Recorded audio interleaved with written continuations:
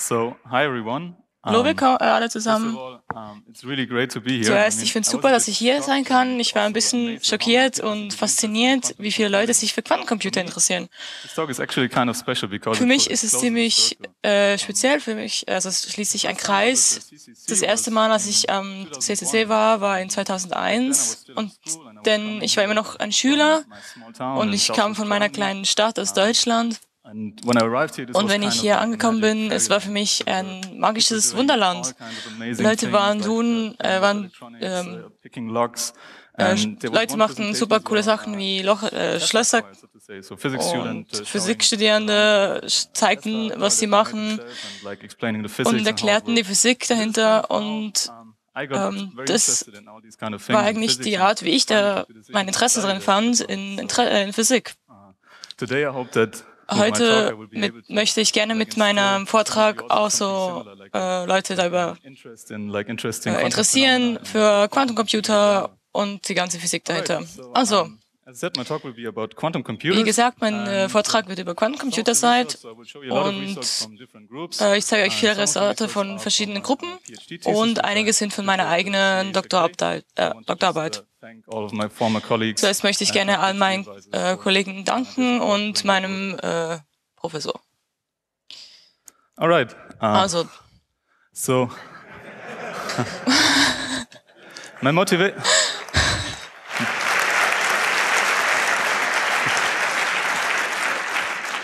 So that's kind of the motivation for so das ist die. Motivation für mich. Wie ihr wahrscheinlich alle wisst, äh, es gibt, es gibt vieles in den Medien über Quantencomputer. VentureBeat, uh, Es wird immer wieder die neuesten äh. Also, Resultate gezeigt. Und da war diese in, große uh, Ankündigung von Google, dass die einen Superconducting äh, Quantencomputer bauen. Es gibt viele Informationen rund um uns. Und Quantencomputer werden alles ändern für uns. Und äh, sagen, die werden nie richtig arbeiten. Und ich möchte jetzt euch zeigen und erklären, was Quantencomputer überhaupt ist, äh, was wir wollen und wie es funktioniert. Also die Outline ist, ähm, was, warum möchten wir das?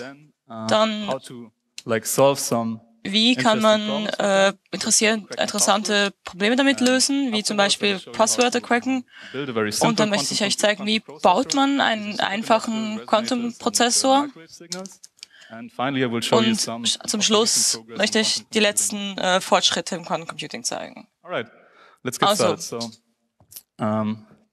What is the history of quantum Was ist die computing? Geschichte von Quantum Computing? The beginning can be probably traced back to the 80s. Der Anfang kann zu den 80ern zurückdatiert werden, wenn die Physiker äh, klassische Computer benutzten, um ihre Probleme zu lösen. Uh, Damals, uh, quantum sagen system. Leute, dass es schwierig ist, äh, Systeme zu simulieren mit klassischen Computern und wenn the wenn you, computer is no longer able to, to kind of simulate it. And in a famous conference 1981, Und in einer berühmten Konferenz äh, 1991 hat ähm, Richard Feynman ähm, einen Vortrag darüber gehalten und darüber geredet, wie man einen Quantencomputer baut und wie man auf einem Computer Quantenmechanik ähm, Mechanik simuliert. This was really a device to help Also, physicists to simulate in uh, einem- quantum mechanical system. Äh, Am Anfang wollte man einfach ein Device bauen, ein Gerät bauen, mit dem man quantenmechanische Systeme simulieren kann. Und jetzt gehen wir einen Schritt weiter. Ähm, wir können sehen, dass ein Quantencomputer ähm, mehr stärker ist oder besser ist als ein klassischer Computer, denn er kann Quantensysteme simulieren. Und vielleicht ist er deshalb besser, ähm, andere Sachen zu lösen, irgendwelche abstrakten mathematischen Dinge. Und ähm, das ist wirklich so. Und jetzt will er uns zeigen, wieso, wieso das ist.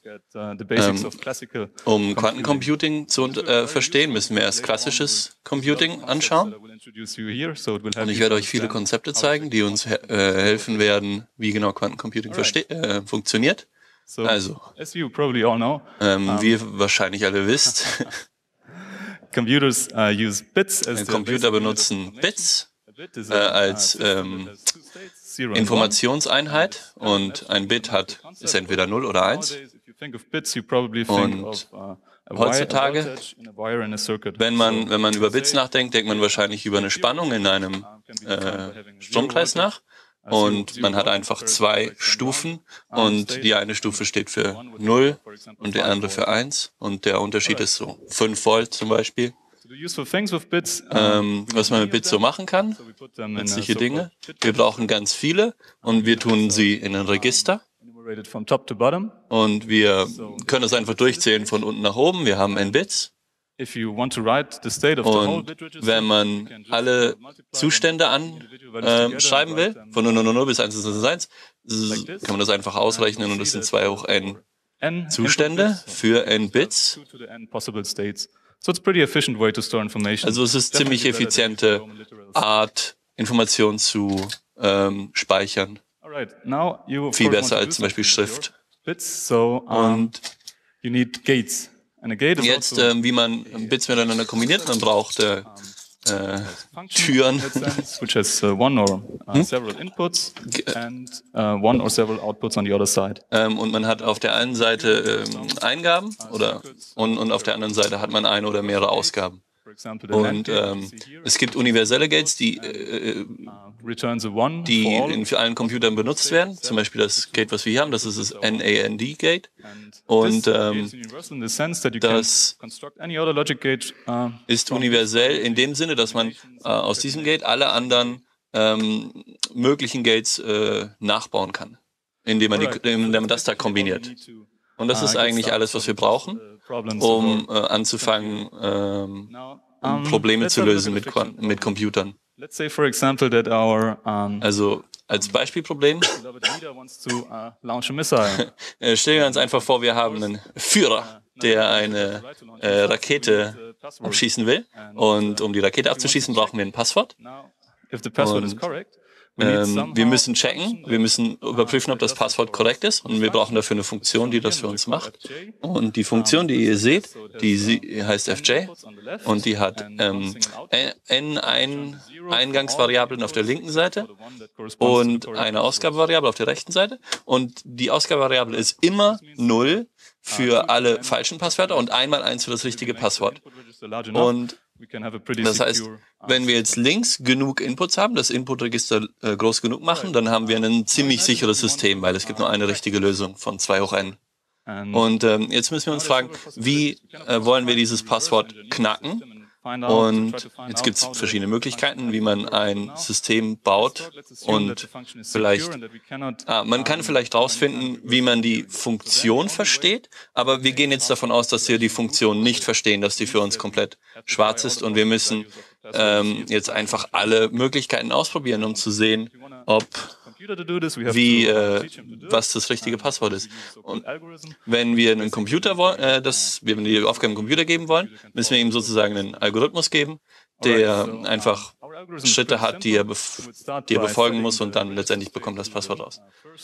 Und ähm, dieser Algorithmus hier ist einfach, wir setzen das Register zum ersten möglichen Wert und der ist in dem Fall i ist gleich 0, 0, 0, 0, 0, 0, und dann ähm, rechnen wir die Funktion von diesem äh, State, äh, von diesem Zustand aus und wenn es das richtige Passwort ist, ähm, dann ist die Funktion 1 und dann kommen wir durch, haben das System geknackt. Aber naja, meistens wird es sicher nicht, nicht äh, 0, 0, 0, 0 sein, also ist es inkorrekt und wir gehen wieder von vor zu oben hin und dann ähm, machen wir einfach plus 1, dann ist 0, 0, 0, 0 1 am hinten und dann machen wir das gleiche und dann immer wieder wiederholen, bis wir äh, fertig sind. Und jetzt müssen wir uns fragen, wie effizient ist das überhaupt? Und das ist ziemlich einfach ähm, zu beantworten, denn wir haben n ähm, Eingangsvariablen und das heißt, wir müssen die Funktion n mal benutzen. Und äh, wir, im besten Fall müssen wir es nur einmal die Funktion machen, äh, aufrufen und im schlechtesten Fall dann eben ähm, n mal. Und ähm, Uh, ah, und im schlechtesten Fall ist es eben 2 hoch n. Und das heißt, wenn wir ein Bit dazu nehmen, also wenn wir den, die, die Passwortlänge um ein Bit äh, erhöhen, müssen wir doppelt so viele ähm, Zustände überprüfen. Und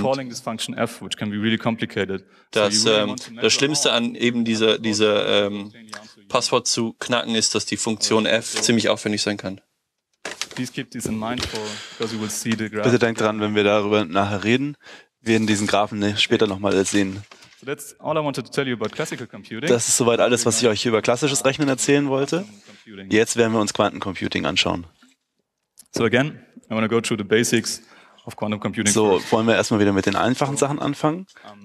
Like for a classical system in a Wie in einem klassischen System hat man in einem Quantensystem eine Fundamentaleinheit, der Information. Das ist hier das Quantenbit oder auch Qubit. Wie der Name schon sagt, es handelt sich um ein quantenmechanisches Zwei-Level-System. Ein Qubit ist ein relativ abstrakter Begriff, aber man kann es sich vorstellen als zwei Zustände in diesem System den Zustand 0 und 1. Dieses Atom ähm, hat zwei Zustände, die man hier durch dieses komische Symbol oben ausdrückt. Jetzt ist die Merkwürdigkeit an diesem quantenmechanischen System oder allgemein quantenmechanischen System, dass es eben nicht nur in 0 oder 1 sein kann, sondern eben auch in beiden Zuständen gleichzeitig. Das, deswegen können wir die äh, Linearkombination, äh, die, die quantenmechanische Wellenfunktion, die Sie da unten sehen, als Linearkombination der Zustände schreiben. Das ist eine Summe aus dem Zustand 0 mit einem gewissen Faktor davor und ähm, dem Zustand 1 mit einem weiteren Normierungsfaktor und dazu noch etwas wie einer Phase. Das führt dazu, dass man darauf Arithmetik betreiben kann hinterher. Das ist am Anfang ein bisschen schwierig, sich das vorzustellen.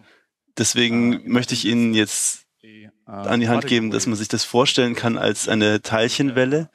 Wenn man das hier sieht, stellen Sie sich vor, Sie haben von links eine Teilchenwelle, die durch eine Schranke muss, die zwei Öffnungen hat. Daraus gehen diese Wellen hervor. Es ist irgendwie ein, ein einzelnes System, aber es zeigt auch gleichzeitig eine Interferenz durch den äh, Überlapp der beiden Wellen. In dem Fall kann man auf gewisse Weise die Wellen, die dabei auftreten, addieren oder subtrahieren. Und ähnlich ist es beim Qubit hinterher. Alright. Um, the second difference to classical bits is concerning, concerns the measurement of Der zweite Unterschied im Vergleich zur klassischen äh, Bits ist, dass man das äh, sich mit der Messung des Zustandes befassen muss. Im Klassenfall ist es einfach, man kann einfach sehen, ob es 0 oder 1 ist. Bei quantenmechanischen Systemen ist es bedeutend komplizierter. Jedes Mal, wenn wir das System messen, ändern wir dabei auch den Zustand. Wir haben jetzt hier rechts ein Gerät, das uns sagen soll, was der Zustand ist. Wir messen damit jetzt das quantenmechanische System links. Wir schalten jetzt das Messgerät an und versuchen zu messen und dabei passiert Folgendes. Die Wellenfunktion des Systems kollabiert. Das bedeutet, es entscheidet sich für einen Zustand. Wir haben jetzt hier 0 zum Beispiel bekommen mit der Wahrscheinlichkeit a. Oder man kann eben den Zustand 1 erhalten mit der Wahrscheinlichkeit 1 minus a. Das ist relativ speziell bei Quantensystemen im Vergleich zu anderen. Und das macht es unter Umständen schwierig, das zu messen, was man wirklich erhält. Alright. Um, like for classical bits, we also need many qubits to. Uh, genau wie im klassischen System braucht man nicht nur ein Bit, sondern viele. Deswegen bauen wir uns jetzt ein Qubit-Register mit verschiedenen Qubits. Wir zählen sie einfach wieder durch von oben nach unten, von A bis Z. Und wenn man jetzt die Gesamtwellenfunktion aufschreiben will, multipliziert man einfach die Einzelwellenfunktionen so wie es unten aufgeschrieben ist. Da das so unter Umständen schwierig zu reden ist, äh, schreiben wir das in einer Kurzform. Die sieht dann so aus. Das ist ein Multi-Qubit-Zustand und jeder einzelne Qubit davon ist in dem Zustand so, wie es die Buchstaben beschreiben. Eine Schlüsseltechnik bei Quantencomputing ist, dass man eben eine Überlagerung haben kann beziehungsweise einen überlagerten Zustand von mehreren Qubits. Vor zwei Folien haben wir gesagt, dass sie Qubits immer in mehr als einem Zustand sein kann, nicht nur 0 oder 1. Und jetzt wollen wir einen Zustand erzeugen, wo jeder einzelne Qubit hier in mehr als einem Zustand sein kann und das Gesamtsystem dann einen, ähm, in einem überlagerten Zustand. Vorne sehen wir eine Normierung. Der Unterschied ist jetzt, uh, wir müssen jetzt die ausmultiplizieren, die Einzelwellenfunktionen der Qubits. Und dadurch erhält man die Gesamtwellenfunktion. Dazu muss man jetzt hier die Klammern auflösen. Das machen wir jetzt n-mal und dadurch kriegen wir einen Quantenzustand mit 2 hoch n Zuständen in Überlagerung von 0 bis alle Zustände 1. Das bedeutet, in diesem Register haben wir alle möglichen Zustände der Qubits gleichzeitig. Das ist natürlich wirklich aufregend. Das ist einer der, der Hauptgründe, warum Quantencomputing interessant ist. Übernimm. Alright, and yeah. Also, uh, häufig, ähm, wenn diese, weil diese Terme ein bisschen äh, normalization when I write uh, a state, so you would often see them like this. Du siehst, äh, wir sehen diese äh, häufig so dargestellt. Uh, last thing we need to learn about also der uh, letzte äh, Schritt wäre diese Quantumgitter, wie die klassischen Gates. Äh, wir nehmen eine Nummer von Input Gate, äh, Gates und der Unterschied jetzt ist, dass jetzt, da wir ein quantenmechanisches System haben, müssen wir auch ein Quantisch, äh, Quantengate haben. Das heißt, einige Dinge, äh, dass Dinge, die in der klassischen Computing möglich waren, jetzt nicht mehr möglich sind, wie zum Beispiel das Kopieren von Qubits. Aber immer noch, ähm, die klassischen Computer ähm, das existieren immer noch. Das heißt, es gibt immer noch Gates, die uns erlauben, ähm, dass wir immer noch diese klassischen Operationen durchführen können. Okay, uh, now if we combine uh, what Wenn wir jetzt alles uh, kombinieren, was wir äh, gelernt haben über diese Superposition von diesen Quantum Gates, sehen wir, wenn wir das anwenden, äh, unser Quantum Gate anwenden, kriegen wir einen Output, der ähm, das Produkt aller Input States äh, gibt, multipliziert mit dem Wert äh, das ist, äh, wir haben diese Quantenfunktion nur einmal angewendet, aber haben gleich alle äh, Schritte gleichzeitig ausgeführt. then this is what they usually mean, so, so-called quantum parallelism. Äh, das nennt man Quantumparallelisieren. Alright, uh, the last thing, uh, das letzte, was wir jetzt noch brauchen, ist das äh, Quantenverschränkung. Das ist ein Konzept, das man so unterstellen kann. Wir haben zwei Qubit States. Der erste ist im Status 0 und der andere im 1.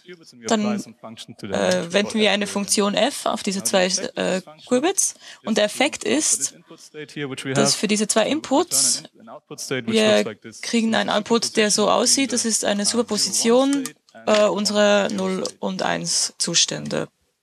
Now this state looks pretty innocuous, but actually it's uh, kind of weird because um, dieser Zustand ist ziemlich uh, merkwürdig, denn wenn du siehst, äh, wir können diese Qubits nicht mehr einzeln schreiben. Also wir können die nicht mehr ausfaktorisieren. Also das erste und das zweite können wir nicht mehr ausfaktorisieren. So, die beiden sind beide darin vorhanden. So, wenn wir jetzt messen würden auf dem ersten Qubit, so wie wir das vorher gemacht haben, und ähm, vorhin war die Wahrscheinlichkeit, 1 zu messen 50 Prozent, beziehungsweise 0 zu messen 50 Prozent. Und was jetzt merkwürdig ist, wir haben auch also ähm, den, den Wert des zweiten Qubits geändert. Uh, das ist uh, merkwürdig und das heißt, dass es gibt eine Geisterinteraktion zwischen dem ersten und dem zweiten Qubit. Also wenn wir etwas am ersten Qubit machen, äh, haben wir auch Einfluss auf das zweite. Einstein hat ein berühmtes uh, Paper darüber geschrieben. EPR Paradox. Als das uh, EPR Paradox, äh, wo er argumentiert hat, ähm, das ist der Grund, weshalb Quantum Mechanics äh, incomplete, äh, nicht komplett ist. Wir können das brauchen, um unsere Computer zu beschleunigen. Alright, so this was a lot of a lot of stuff to. Das war jetzt sehr viel über dieses Thema. Uh, ich do a small, let's do a small recap deshalb möchte ich kurz zusammenfassen, was wir gesehen haben. Uh, wir haben gelernt, äh, Qubits sind Zwei-Level-Systeme, die können äh, superpositioniert werden, also von Sta äh, Status 0 und 1. wenn wir ähm, eine Messung führt zu einer Projektion des Werts und wir können diese auch verschränken. Also, zurück zur eigentlichen uh, Sache. Wir möchten immer noch dieses Passwort finden. Now, um, let's imagine that we have, uh, Stellt euch vor, wir haben eine Blaupause dieser Funktion und wir möchten äh, eine Quantenversion davon implementieren. Wenn wir das machen können, so wie wir das vorhin gemacht haben, also eine Superposition, calculate uh, the function operator fj and then obtain uh, the values of the password hashing function for all possible input states. And amazingly, of course, there will also be um, ähm, the value of the correct password in there. Wenn wir das so, anwenden, finden wir auch automatisch den korrekten Wert des Passworts. Also haben wir unsere Probleme gelöst. So, wir haben, ähm, wir haben den Status äh, identifiziert, wo das korrekte Passwort drin ist. Das Einzige, was wir jetzt noch brauchen, ist den richtigen Wert zu finden. So, was wir jetzt dafür machen können, ist einfach äh, das, das Messen eines jeden Qubits nach dieser Berechnung. Uh, Aber wie ich euch gesagt habe, äh, jede Messung ändert diesen Qubit State und ändert auch die anderen the superposition state that we have, the probability that we'll actually measure Die Wahrscheinlichkeit, dass wir den richtigen Wert messen, ist äh, nur 1 über n. Uh, und die Wahrscheinlichkeit, das Falsche zu messen, ist 1 minus 1 über n. Und das ist ziemlich schlechte Nachricht.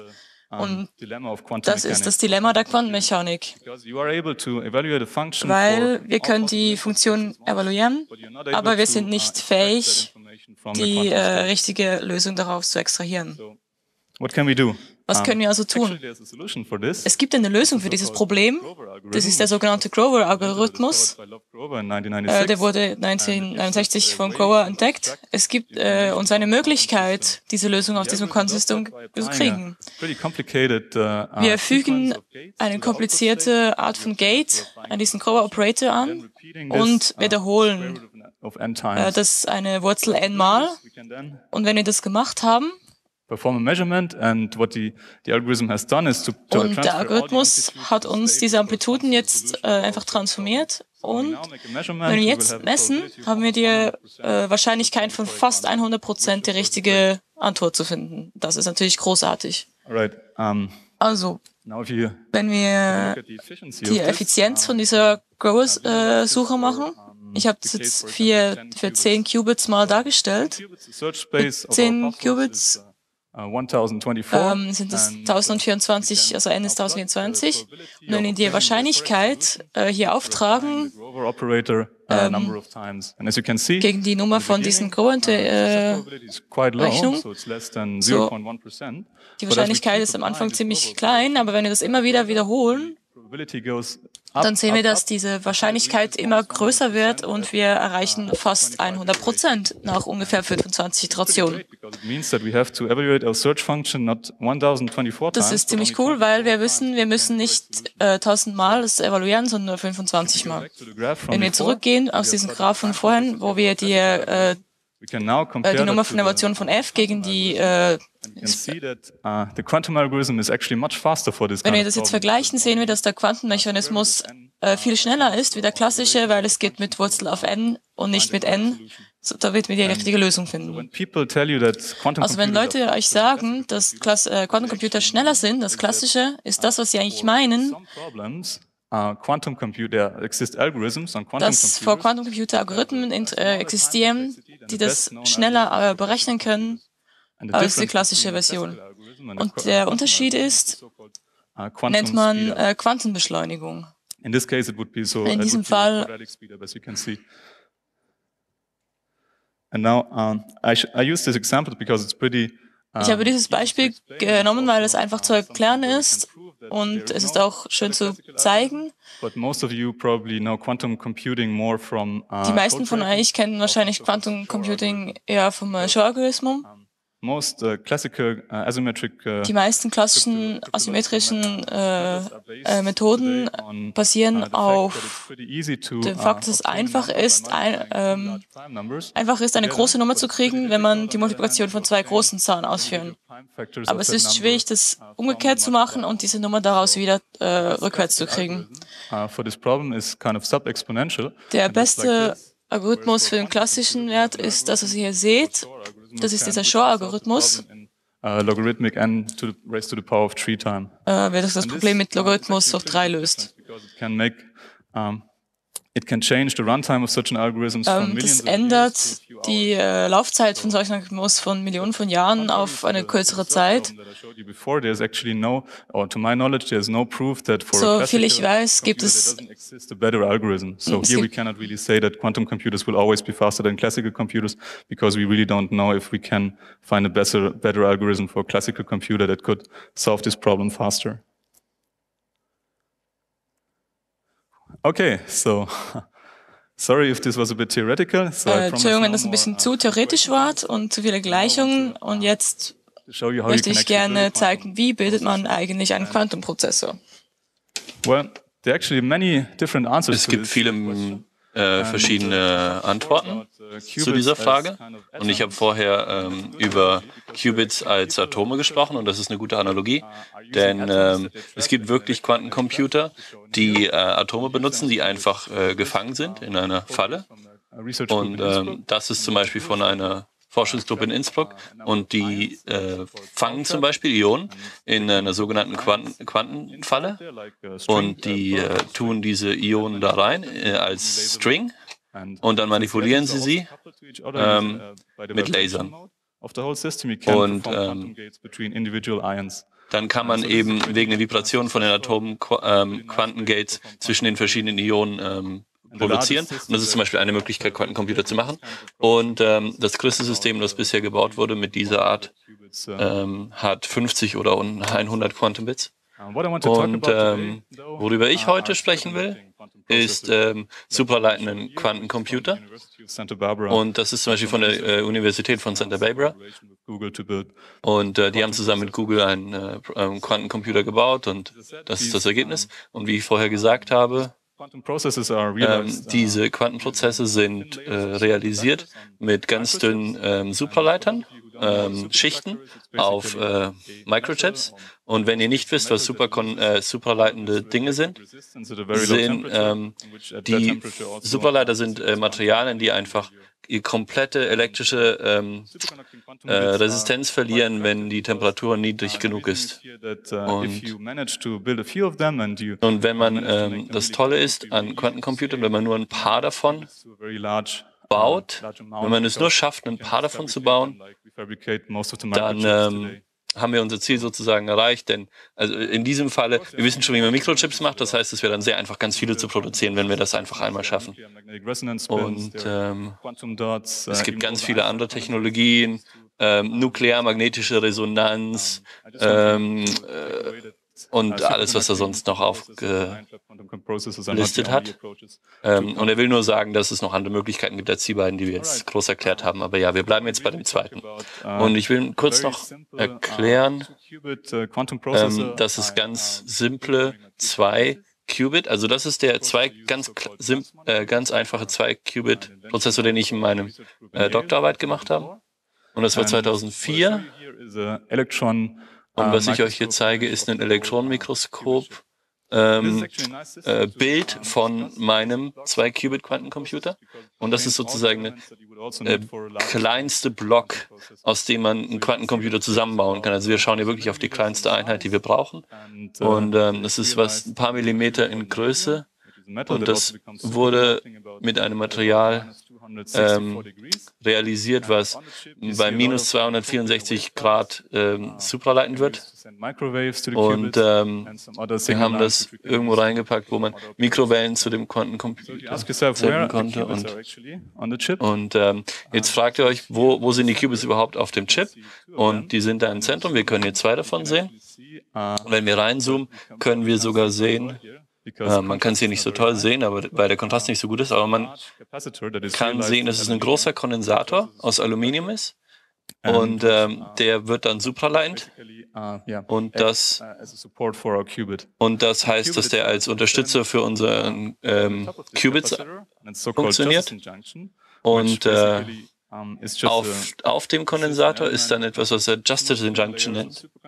Und das sind dünne äh, Schichten von Supraleitern und die sind isoliert von irgendwas anderem. Und das nennen wir schlechten Kontakt, denn dem, denn wenn das System äh, supraleitend wird, haben wir eine supraleitende äh, Wellenfunktion und diese Wellenfunktion kann tunneln zwischen den äh, und dann gibt es tatsächlich eine Möglichkeit, eine, eine äh, Kontakt zu haben zwischen den zwei Schichten von dem, von dem Kontakt. Also und wir nennen das künstliches Atom, denn es hat sozusagen einen Grundzustand und ein paar ähm, höhere Zustände und wir können das kontrollieren, äh, wir können das äh, manipulieren, indem wir Mikrowellen draufschießen.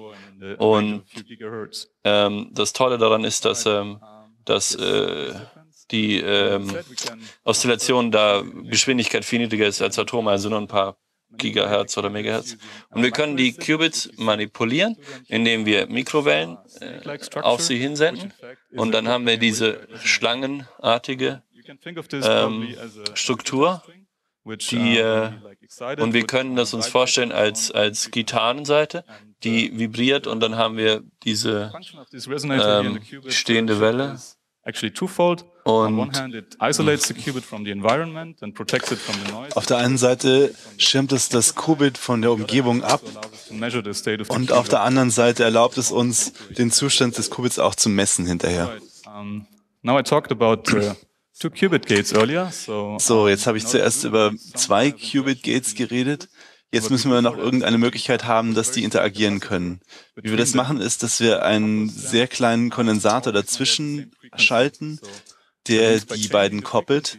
Ähm, dadurch, dass man die, den Strom auf diesen Leitungen hier ändert, ähm, kann man die beiden verschränken. Das ist im Groben und Ganzen schon alles. Um das jetzt zu betreiben, haben wir diesen Chip auf einen äh, Wellenleiter gepackt. Das haben wir jetzt auf, eine, auf einen Probenhalter gemacht, der auch die Probe von ähm, Streufeldern abschirmen soll. Das ist ein Kryostat, den Sie hier sehen. Der Halter ist unten angebracht. Im Prinzip ist das nur ein, ein sehr äh, elaborierter Kühlschrank. Das befindet sich bei minus 273 Kelvin, also ganz knapp über absolut Null. Das müssen wir, weil auf der einen Seite wären das keine Supraleiter, wenn wir sie bei Raumtemperatur haben. Und auf der anderen Seite wäre es so, dass wenn wir die Qubits bei Raumtemperatur betreiben, dass sie dann ähm, mit den, der Wärme und der Bewegung der Umgebung interagieren würden Deswegen brauchen wir eine sehr niedrige Temperatur, um mit denen für lange Zeit einen Betrieb durchführen zu können. Das ist jetzt die Kurzfassung, wie man das baut. Die lange Variante braucht bestimmt zwei Jahre und eine ganze Menge an äh, Mikrowellen. Äh, Justierung. Was ich Ihnen jetzt hier zeigen will, ist äh, die Ergebnisse von den äh, Experimenten, die wir mit diesem Aufbau gemacht haben. Wir sind jetzt wieder bei Grover-Suche für zwei Qubits. Das ist kein wirklich realistisches Problem, was man hier lösen will, aber es ist natürlich eine gute, ganz gute Demonstration für das, was man hinterher damit machen kann. Hier haben wir wieder zwei Qubits, mit denen wir den Eingangszustand modellieren wollen. Und dann haben wir einen iSwap-Gutter das uh, äh, zusammen mit diesen zwei Gates, die hinten dran geschaltet werden, ähm, die Funktion FJ berechnet. Und das soll das wieder das Passwort als das Richtige markieren. Für den 2-Qubit-Fall muss man den äh, Grover-Operator nur zweimal anwenden. Deswegen haben wir die gleiche Schaltung hinten dran nochmal. Und dann im Anschluss messen wir den Output und sehen, ob es funktioniert hat. Was Sie hier sehen, ist die Zeit auf der X-Achse und ähm, die, die Höhe der Wellen, die wir messen, sehen Sie auf der Y-Achse in Rot. Am Anfang sehen Sie zwei Mikrowellenpulse, die wir reinschicken. Dann schicken wir sie in das äh, Multicubit-Gate dann separieren wir sie wieder, machen weitere Operationen drauf, lassen sie nochmal durch den Grover-Operator und dann messen wir den Output. Jetzt wollen wir natürlich sehen, wie erfolgreich wir sind, wenn wir das machen. Diese ganze Schaltung zu durchlaufen dauert ungefähr 200 Nanosekunden. Das lassen wir jetzt sehr oft laufen, mitteln dann über die Ergebnisse, um ein, besseren, äh, ein besseres Ergebnis zu sehen. Und hier sehen Sie die Wahrscheinlichkeiten abgebildet dafür, wenn man das oft laufen lässt, dafür, dass es da drin in diesen Zuständen gefunden werden kann. Die Erfolgswahrscheinlichkeit, dass man im Zustand 00 endet, hat 67 Prozent. Also wir hätten eigentlich 100 Prozent erwartet, aber warum das nicht geklappt hat, erkläre ich Ihnen später. Um das jetzt wissenschaftlich ein bisschen besser zu fundieren, machen wir das dann auch noch für die anderen möglichen Suchfunktionen. Jedes Mal machen wir wieder den gleichen Vorgang und wir stellen fest, dass wir mindestens 50 Prozent erreichen jedes Mal. Das ist schon ziemlich gut.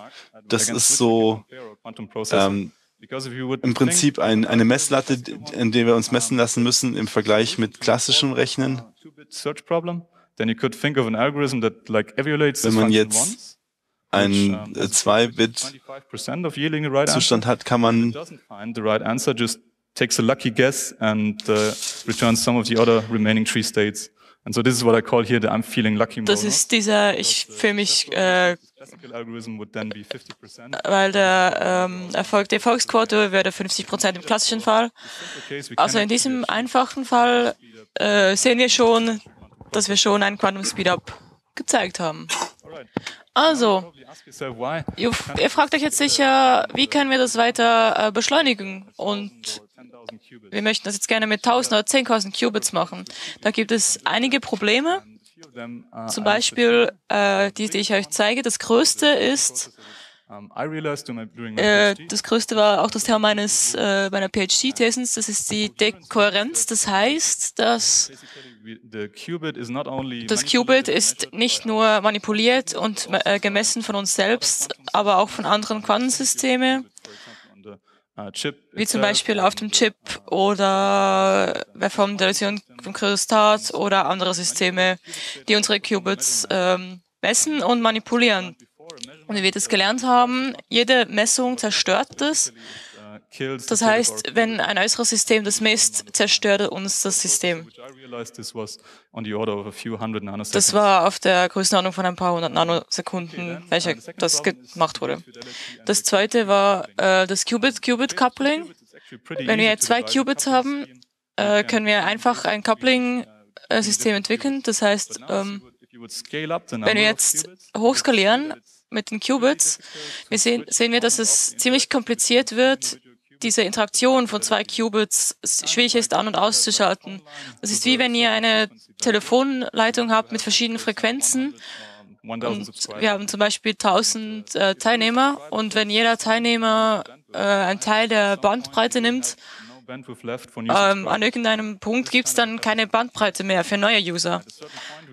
Der, äh, so, wir haben äh, in unserem System alle Frequenzen benutzt für unsere Qubits und haben dann eine Interferenz. Also und das gleiche Problem haben wir für die Messung der Qubit States. Das heißt, wenn wir diese Messung von den Qubits äh, machen, But this means, of course, that in 10% of the cases we cannot. Äh, auch wenn wir immer noch 90% messen, haben wir immer noch äh, 10% übrig, welche äh, unsere Probleme bereiten. Uh, of course, there are some other problems which I won't talk in detail here. Which, Und wir haben natürlich noch andere Probleme. Das heißt, für Quantencomputer ist es ziemlich schwierig, das ganze Ding zu resetten, zu, zu Nullpunkt zu bringen. Und das ist ein Problem, das wir noch lösen müssen. Und wir haben das noch nicht vollständig gelöst bisher. Ich möchte gerne diesen Talk äh, beenden mit ein bisschen einem äh, Ausblick äh, auf den letzten Trends von Quantum äh, Computing. Da sind einige Gruppen in der Welt, die das versuchen zu verbessern, also die ganze Qubit-Sache, und help, äh, helfen möchte, einen großen Quantencomputer zu bauen. Und ich zeige euch hier ein Bild auf einer Gruppe von Santa Barbara, die haben vor kurzem mit Google zusammengespannt, um dieses Projekt voranzubringen. Und was die machen, die möchten neue Architektur konstruieren, welche jetzt auch äh, Transmon-Qubits benutzen und Resonatoren. Und die koppeln das in einer anderen Art, so dass es einfach ist, äh, eine große Menge von Qubits auf demselben Chip zu haben und somit einen richtigen Quantencomputer zu haben. Äh, diese äh, Ansätze nennt man auch äh, Rescue. Uh, Dann können wir uh, auch über andere äh, Fortschritte nachdenken, und zwar über den Qubit äh, selbst.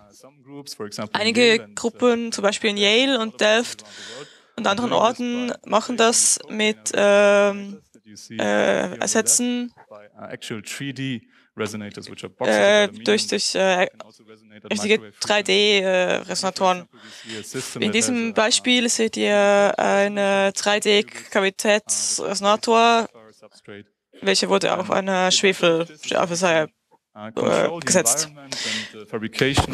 parameters of the qubit to a much better degree than you would be able uh, to do with normal uh, microchips. So the coherence times die Kohärenzeit äh, und die Lebenszeit des Resonators äh, ist viel besser als äh, in diesen 2D-Fällen.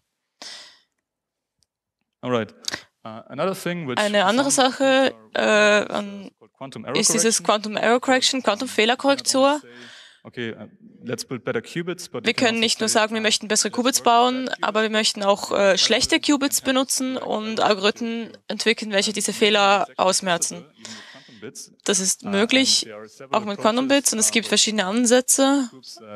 Ähm, processors that can to some degree correct errors and like und es äh, gibt die Systeme, die äh, fähig sind, eine gewisse Anzahl von falschen Qubits auszufiltern.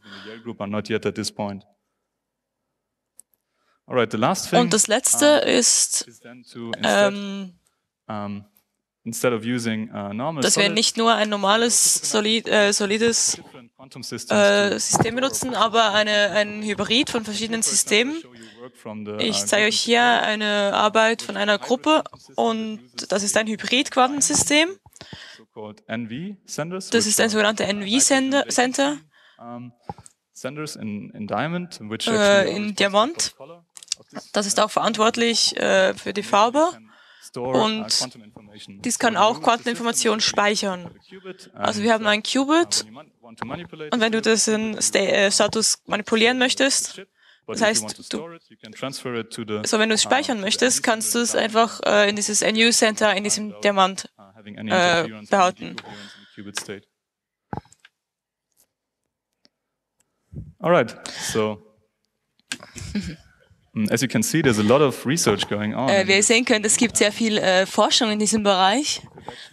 Und, und wenn, you, äh, wenn wir Moore's Law für Quantumcomputer aufzeichnen möchten, Jetzt, wenn, wir, wenn diese Forschung begann in 1999, die Qubits, die wir damals hatten, die hatten eine Kohärenztime auf äh, vielleicht eine Nanosekunde.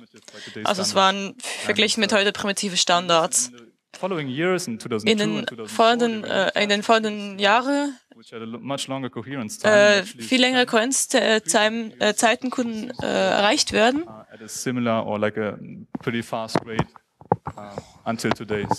In 2014, in 2014 haben wir äh, Kohärenzzeiten von, von ein paar 100 Nanosekunden. Und das uh, zeigt, dass wir die wirklich benutzen können für einen echten Quantencomputer. In der Zusammenfassung, Quantencomputer kommen, aber es sind immer noch sehr viele Probleme zu lösen. Und um diesen Talk mit einem politisch korrekt zu enden, es gibt auch schlechte äh, Neuigkeiten, denn Quantencomputer werden auch in falsche Hände kommen Denn die meiste Forschung ist zurzeit finanziert durch äh, die Regierung und große Firmen. Fashion to everybody.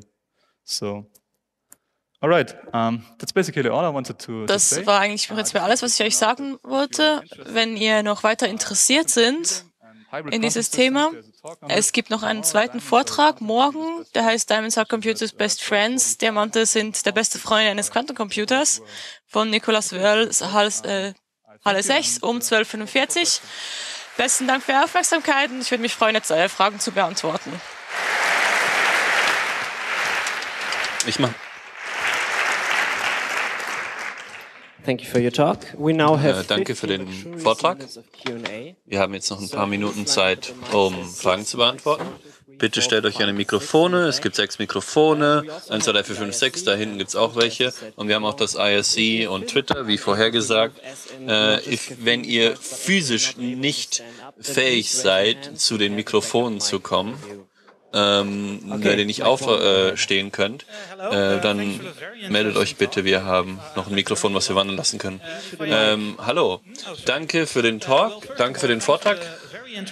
Äh, sehr interessant, ich habe sehr viel gelernt. Und wenn ich es richtig verstehe, Quanten, können Quantencomputer sind, wenn ich es richtig verstehe, sind Quantencomputer im Moment äh, limitiert zu den wegen den ähm, Anzahl von Quantenbits, die wir haben können. Und für hohe Quantenbits ist das halt nicht mehr stabil. Hast du eine Idee, wie, wie viel Diamant und wie viele Quanten, wie viele Quantenbits und wie viel Diamant brauchen wir, bis das bis es groß genug ist, dass es mit normalen Computern konkurrieren kann? Danke, das ist eine sehr gute Frage. Die Antwort darauf ähm, was du wirklich äh, erreichen willst mit Quantenbits, ist eine gewisse äh, Fehlergrenze zu erreichen. Ähm, wie ich vorher gesagt habe, es gibt Möglichkeiten, Fehler äh, zu korrigieren für Quantencomputer. Und wenn man unter eine gewisse Fehlerzahl kommt, ähm, dann ist es gut genug, und ähm, für klassische oder Halbquantencomputer ist uh, diese Errorkorrektion sehr, diese Fehlerkorrektion sehr niedrig, aber für neuere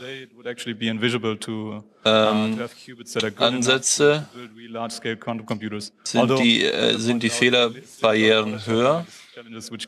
Und deswegen heutzutage ist es einfacher, gute Quantencomputer zu bauen. Ich habe es nicht richtig verstanden, aber er sagt das. Hm. Willst du eine machen? Mhm. Zwei Fragen. Die erste Frage ist, wir haben die richtige Antwort mit einer Wahrscheinlichkeit von nahe an 1 gehört. Also, ist es auch wahr für die anderen Quantenalgorithmen, dass man immer eine kleine Wahrscheinlichkeit hat, das falsche Ergebnis zu kriegen?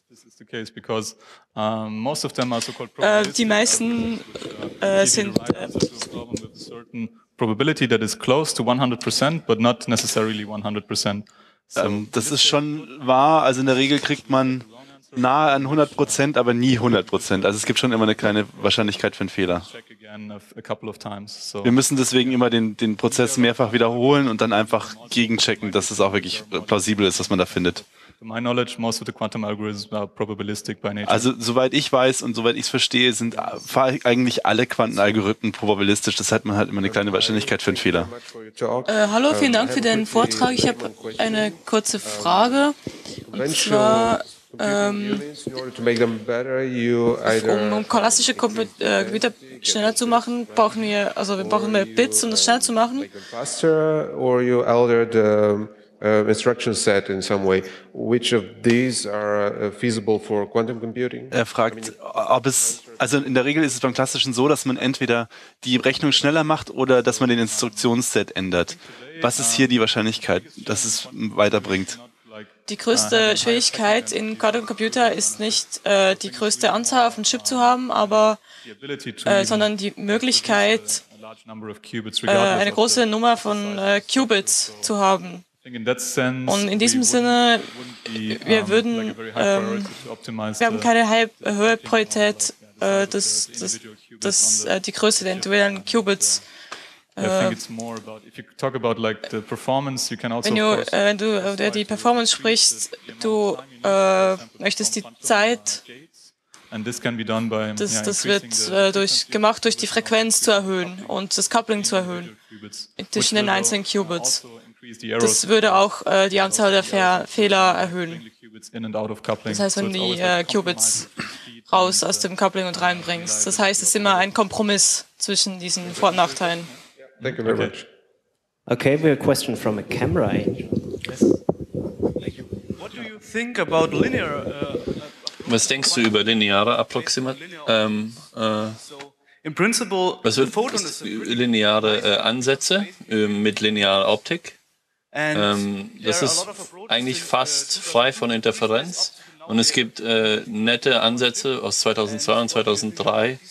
Ähm, und die sind dann integriert in einen Chip. Und was denkst du darüber? Ich bin, ich bin kein Experte über Quantenoptik-Computing. Aber deswegen will ich auch nicht so viel darüber sagen. Aber natürlich, wie ich vorher schon gesagt habe, es gibt viele Ansätze, das Problem anzugehen. Und klar, das Rennen ist noch komplett offen und wir werden sehen, was passiert. Und wenn ich jetzt wetten müsste, dann würde ich natürlich auf äh, Ein-Traps setzen, also Ionenfallen.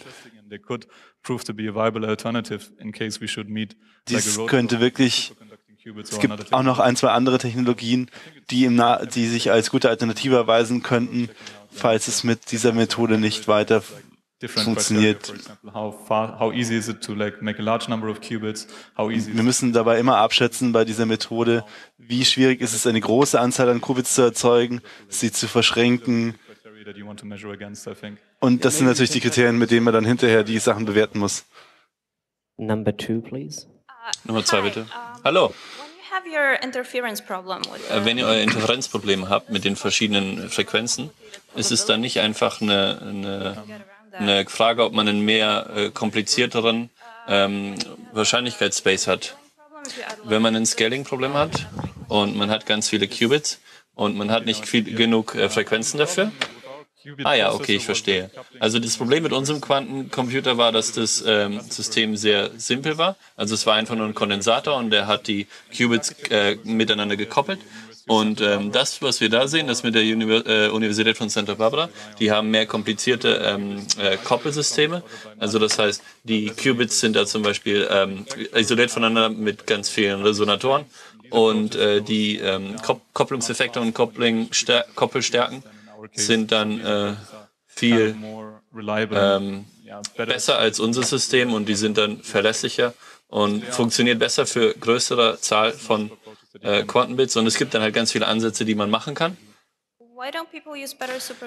Und warum benutzen Leute nicht einfach bessere Supraleiter? Ich meine, das können wir doch heutzutage schon viel besser. Die Temperatur ist eigentlich wirklich nicht das größte Problem, das wir im Moment haben. Also wir arbeiten bei niedrigen Temperaturen einfach, um äh, thermische Anregungen der Qubits zu verhindern. Und natürlich wäre es möglich, dass man das Material beim Supraleiter ändert, aber es wäre natürlich auch sehr kompliziert, weil die Materialien, die wir benutzen, Aluminium und Niobium, äh, funktionieren schon sehr gut, weil die haben wir schon 10, 20 Jahre optimiert und da ist der Prozess sehr darauf abgestimmt. Und es wäre relativ knifflig, einen neuen Prozess zu finden, der auf dem gleichen Niveau arbeitet. Also Internetfrage bitte. Wie viele Qubits braucht es, um einen äh, Schlüssel einer gewissen Länge zu knacken? Das ist eine wirklich gute Frage und ich möchte jetzt nicht lügen. Aber also, so viel ich weiß, ist die Nummer äh, der Qubits äh, geht linear mit der, der Größe des Problems. Das heißt, du brauchst 2000 und so, äh, irgendwas Bits. Also mindestens so viele Bits, wie du in der Größe hast. Und das geht dann auch mit noch mit der Fehlerkorrekturen. Aber ich, ich kann das gerne nachschauen äh, und gebe dann noch eine genauere Antwort. Nummer 5 bitte. Mhm. Hallo. Hallo. Um, I, I was wondering, ähm, ich habe mich gefragt, der Vortrag ähm, sah so aus, als ob die Richtung der Forschung ähm, ist, wie kann man ähm, wie kann man die Probleme mit Quantencomputern äh, lösen, die man heute mit normalen Computern hat? Aber Ähm, das Ding, was man normal, was man gerne hätte, ist neue Probleme zu finden, ja, die man jetzt lösen kann. Natürlich, äh, die, die, die meiste basische Sache darüber ist, äh, wie gesagt, mit dem Quantencomputer können wir ganz schwierige Probleme lösen, äh, wie für Quantum äh, Krypto-Dinge. Also das eliminiert eine Sicherheit und es gibt viel äh, äh, Forschung in dieser Post-Kryptum. Ich würde darauf jetzt nicht keinen Kommentar zu abgehen, aber ja, auf jeden Fall, es gibt viel in der Forschung, entsprechend auch mit Quantenkryptographie. Vielen Dank. Nummer vier, bitte. Hallo. Mich würde interessieren, was eure Gedanken sind ähm, in der Zukunft, wenn viele von diesen Hindernissen weg sind und wenn wir dann Quantencomputer haben, die wirklich genug Quantenbits haben und, und wirklich äh, viele Leute Zugriff darauf haben. Was denkt ihr, was dann äh, vielversprechende Anwendungen für diese Technologie wären? Für mich äh, persönlich äh, Cracking Passwörter oder äh, das Lesen von E-Mails äh, ist nicht die Sache, für die ich Quantencomputer bauen sollten, aber die, die, die äh, Möglichkeit zu simulieren.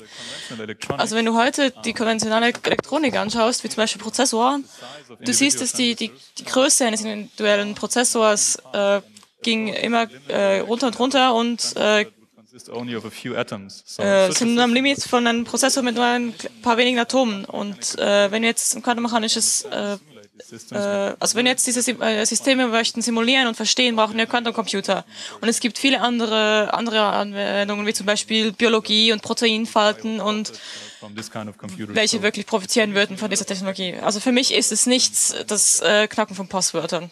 Vielen Dank. Danke. Nummer eins bitte. One, one, eins, eins. Danke. Was ich mich gerne wissen würde, in der ähm, normalen Presse ähm, ist immer die Aussage, dass wenn man ganz viele Bits haben will, das ist ganz schwer. Und, ähm, und ähm, das Problem ist, dass für viele Bits die interferenzieren dann nicht mehr damit, äh, miteinander. Und was ich jetzt verstanden habe, ist, dass ähm, die, die, die Hintergrundgeräusche sind das große Problem. Und ähm, was ich verstanden habe, ist, dass man das, das mit gut, dass das ähm, Ionen wie ich gesagt habe, ich bin kein Experte in äh, Ionenfallencomputer, aber die Qubits, welche dort verwendet werden, haben eine sehr gute Qualität, äh, da die Kohärenztime äh, ist about äh, in, in, der Größe von Sekunden und ähm, es ist vergleichbar zu äh, Superleiten Qubits. Also und man kann auch äh, sehr schnell auslesen. Das heißt, die, die, die äh, Erfolgsquote, wenn du ausliest, ist also auch bei fast 100 Prozent. Das scheint auch sehr vielversprechend zu sein und was ein Problem sein könnte, ist das Skalieren. Wenn man bei einer großen Nummer von Qubits ist, dann hast du viele äh, ähm, äh, Dinge in der Falle, das heißt auch magnetisch. Uh, ähm, Atomfallen auf einem Chip äh, und dann kann man einzelne Qubits und Ions nehmen und die dann äh, rum äh, sortieren auf den, und voneinander isolieren. Und ähm, für mich ist einfach das Rennen komplett offen und äh, die eine Art scheint gerade vorne zu sein, aber äh, wir können auch zum Beispiel das supraleitende Qubit-Ding äh, verbessern und es ist komplett offen, was letztendlich die Technologie ist, die sich durchsetzen wird. Nummer 6 bitte. Hey, um, as you told, at the moment we still use the binary system. Sie haben uns gesagt, dass wir immer noch das Binärsystem verwenden. We can use higher level systems. Aber wir könnten doch eigentlich auch Zustände, also Systeme mit höheren Anzahl an Zuständen verwenden. System with higher level systems. Können wir nicht das Binärsystem einfach hinter uns lassen? Ja, das könnte man machen. Und äh, in der Tat, wir haben damit rumexperimentiert und wir haben das äh, zweite und das dritte äh, Energielevel äh, genommen und dann haben wir eine höhere Basis für unsere Kalkulation. Aber normalerweise macht man das nicht, denn der äh, Beschleunigung, die Quantenbeschleunigung, die, die man dadurch bekommt, ist nicht exponentiell. Und äh, das heißt, man kann sagen, wenn man ein Quantensystem mit drei Zuständen hat, dann hat man einen, ähm, einen, äh, einen Phasendings, äh, Phasenraum, der 2 hoch 3 ist. Und, und, und die, die Zahl, die wir dadurch, zu, dadurch verändern würden, dass wir noch einen Zustand dazu nehmen, ist nicht im Exponenten und deswegen ähm, ist es nicht wichtig. So, wir sind jetzt äh, äh, mit der Zeit durch und ihr könnt ihm draußen noch Fragen stellen und ihm auflauern sozusagen. Ähm, bedankt euch bitte bei ihm.